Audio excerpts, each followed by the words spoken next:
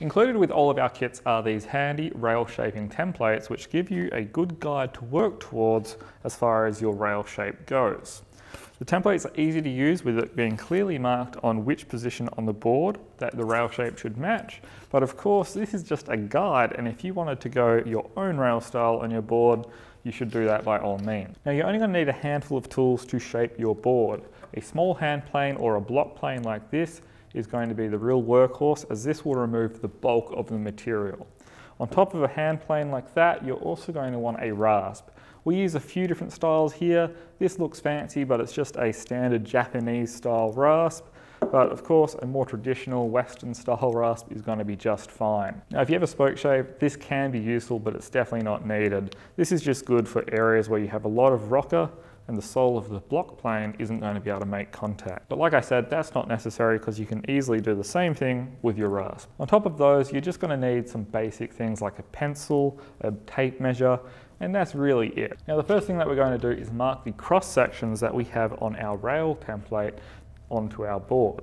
So on this case here, we've got one at 100 mil, 300, 800, and 1700, and that is all going to be referenced from the tail. So here it's a fish, so getting the tail just right is a little bit tricky, but eyeballing it is good enough for this stage.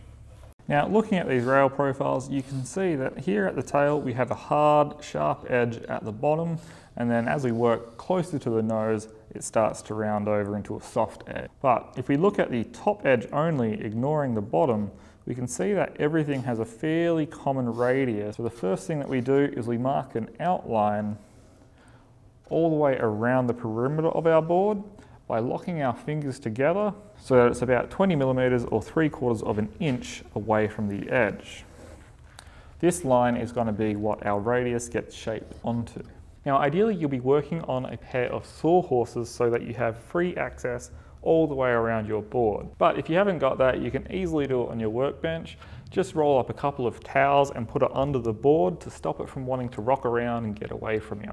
Now when it comes to the actual shaping process, we're not going to be looking at the radius of the curves, but more what do we have to do to achieve these results and everything will always start with creating a 45 degree angle on the edge of your board. So the first step that we do is create a flat so that it is a consistent, continuous 45 degree chamfer along the entire edge. From there, we start breaking down the corners bit by bit until we start getting a nice rounded profile. Now you'll notice that what I'm doing here is long strokes which go most of the way along the length. While short rapid stroke might feel good, what you're actually creating is a low spot in one area. So by taking long continuous strokes, you're keeping the finish consistent and that's quite important when it comes to our rails. So here you can see that we have a nice flat chamfer and that is the sort of progress that we're looking for. So now that we have a chamfer established on the entire edge, we can start working towards the profiles that are shown on our template.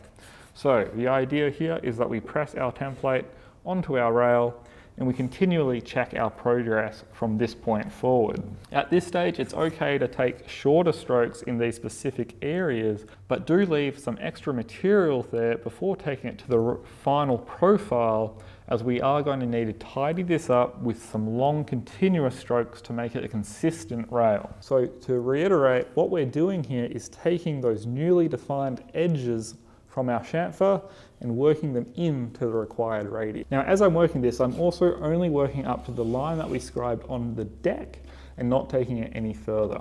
So now that we have our rail close in every section, now we have to refine it to make a nice consistent edge. And that is where those long continuous strokes come in with our block plane. Now up until this stage, I was working with the plane set fairly aggressive with the stock removal. Now I'm gonna wind it back out so only a very small amount of the blade is protruding. So we're taking very thin whispery cuts. This is gonna mean that instead of creating big flat spots, we're only gonna be removing very small sections.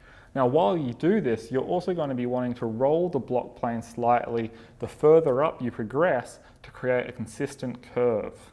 So like I mentioned, I've already shaped the other side of this board. So we're gonna jump forward to as if you've shaped both sides of your board at this stage as well. So while things are looking really good on that template, which we've kept checking, we're now coming in with our hands and we're just gonna start feeling the edges.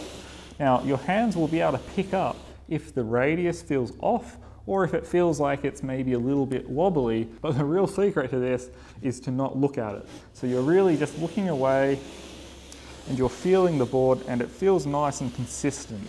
So here I can feel that this radius isn't coming as low on the rail as it should. So I've got a little bit more to go on this side. But as far as consistency goes, it's feeling nice and it's looking good as well. So here, I know I have to have a little bit more stock removal and then we can move on to using the rasp. So now that we've used the block plane, I'm going to use a rasp to come in and finish it up. So the same principle applies, long even strokes, but what I do with the rasp, instead of keeping it at a fixed angle, I'm instead going to be sweeping it on an arc and further shaping that rail. So with the top half of the rail tuned in, we can now flip it over and do the underside. So the underside gets shaped in the same way as before. So we've marked our locations along the length that correspond to our template here. And now it's just a matter of checking the fit at every location and creating the chamfers along the edge where we need to create the radiuses. Now just take note though, on most of our designs we use a very hard edge at the tail of our board, so be sure to mark where not to touch on your rails and leave it at a crisp 90 degree corner.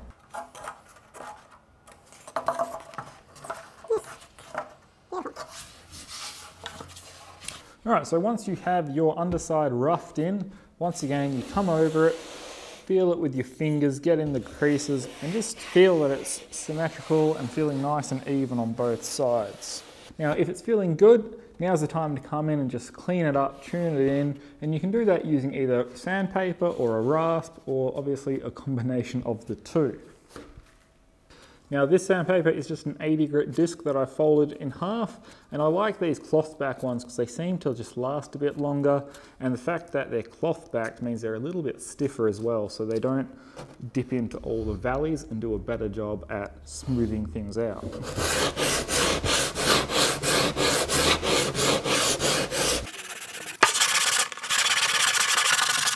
So with the rails all sanded, the last thing left to do is give it a quick sand to tidy it up and shaping is done. From here, we're really close to the end. All we need to do is glass it and install our fin plugs and deck hardware.